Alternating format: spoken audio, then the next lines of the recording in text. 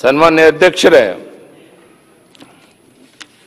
ಶಿಕಾರಿಪುರ ತಾಲೂಕಿನ ಜನರಿಗೆ ನಾನು ಚಿರುಣಿಯಾಗಿದ್ದೇನೆ ನಾವಾಗಲಿ, ನೀವಾಗಲಿ, ಆ ಕ್ಷೇತ್ರದ ಜನರ ಆಶೀರ್ವಾದದಿಂದ ಇಲ್ಲಿ ಬಂದು ಕುಂತ್ಕೊಳ್ಳುವಂಥ ಸೌಭಾಗ್ಯ ನಮಗೆ ಸಿಕ್ಕಿದೆ. ಅವ್ರ ಋಣವನ್ನು ತೀರಿಸ್ತಾ ಇದ್ದೇವೆ. ಅದು ನಮ್ಮ ಕರ್ತವ್ಯ. ಆ ಕ್ಷೇತ್ರದ ಜನ ಮೆಚ್ಚೋ ರೀತಿ ಕೆಲಸ ಮಾಡುವಂಥದ್ದು ಎಲ್ಲ ಸದಸ್ಯರ ಒಂದು ಕರ್ತವ್ಯ ಅಂತ ನಾನಾದರೂ ಭಾವಿಸಿದ್ದಾನೆ ಸನ್ಮಾನ್ಯ ಅಧ್ಯಕ್ಷರೇ.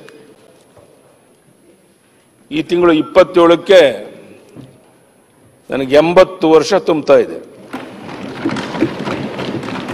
ಆ ವಿಶೇಷವಾದ ಸಂದರ್ಭದಲ್ಲಿ ಶಿವಮೊಗ್ಗ ವಿಮಾನ ನಿಲ್ದಾಣದ ಉದ್ಘಾಟನೆಗೇನೆ ಇಪ್ಪತ್ತೇಳನೇ ತಾರೀಕೇನೆ ಇನ್ನು ಹುಟ್ಟದ ಹಬ್ಬ ದಿನನೇ ಬರ್ತೇನೆ ಅಂತೇಳಿ ಪ್ರಧಾನಿ ನರೇಂದ್ರ ಮೋದಿಯವರು ಸಾಲಿಗೆ ಬರ್ತಾ ಇರುವಂಥ ಶಿವಮೊಗ್ಗಕ್ಕೆ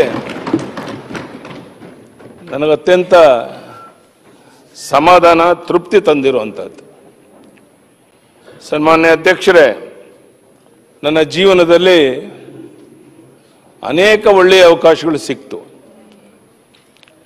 ಒಬ್ಬ ಸಾಮಾನ್ಯ ಪುರಸಭಾ ಸದಸ್ಯನಾಗಿ ಮುಖ್ಯಮಂತ್ರಿ ಆದರೂ ಸಹ ಆ ಕಾಲದಲ್ಲಿ,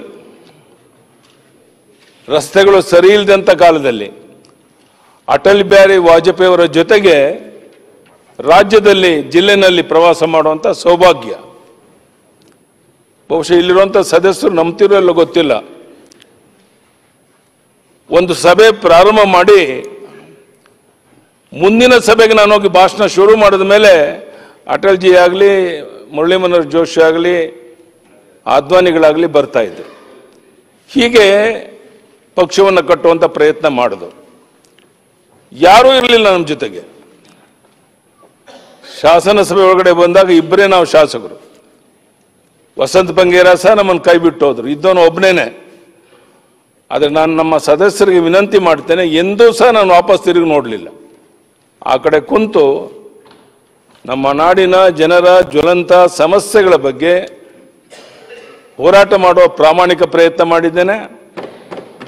ನನಗೆ ಅತ್ಯಂತ ತೃಪ್ತಿ ತಂದಂಥದ್ದು ಅನ್ನಾಥರೈಸ್ ಕಲ್ಟಿವೇಶನ್ ಮಾಡಿದಂಥ ಬಗುರುಕುಂ ಸಾಗುವಳಿ ಮಾಡಿದಂಥ ರೈತರಿಗೆ ನ್ಯಾಯ ಕೊಡಿಸಬೇಕು ಅಂತೇಳಿ ಹೋರಾಟ ಮಾಡಿದಾಗ ಅದಕ್ಕೆ ಸ್ಪಂದನೆ ಸಿಗದೆ ಇದ್ದಾಗ ನಾನು ಇಲ್ಲಿ ಬಂದು ಧರಣವನ್ನು ಕುಂತ್ಕೋಬೇಕಾಯಿತು.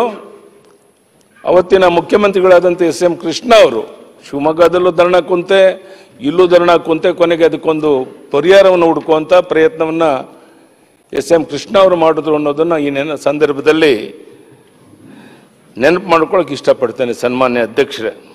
ಬಹಳ ಹೊತ್ತು ಮಾತಾಡೋ ಅಗತ್ಯ ಇಲ್ಲ.